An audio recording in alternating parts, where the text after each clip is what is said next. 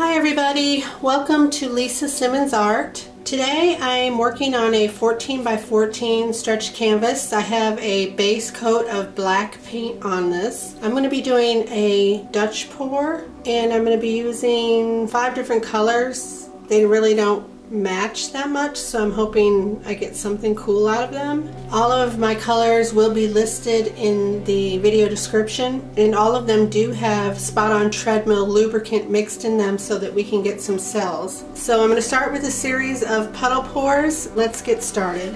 I'm terribly messy at these, but it's not really going to matter because this is all going to be blown around with my blow dryer.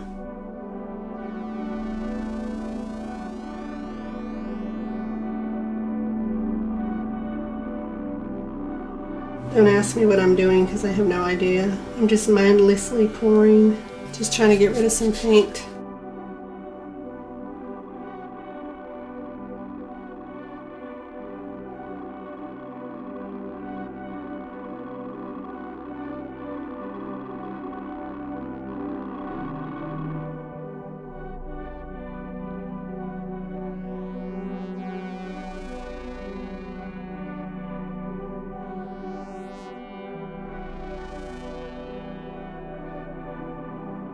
Okay, I think I'm going to stretch this out a little bit on the canvas.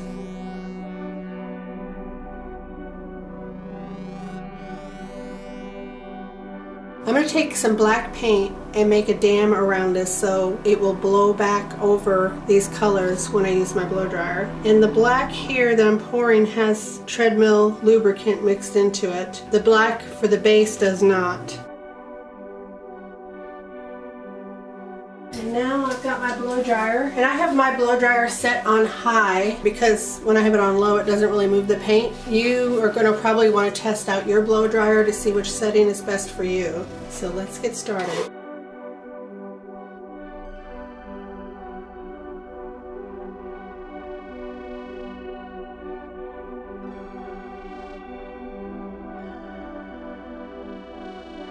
Okay, we got some cool cells right there, some cool color. Now I'm going to blow it forward.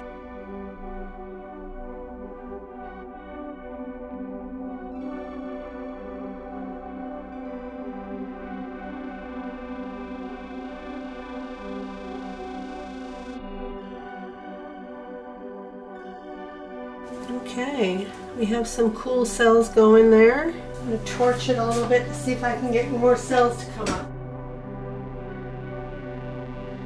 Some real interesting color there. I'm not hating it. I'm hoping some more cells come up in here.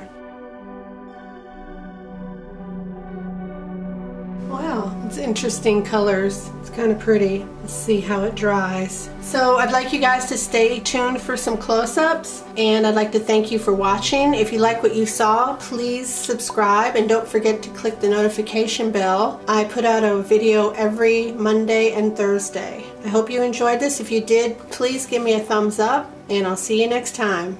Bye.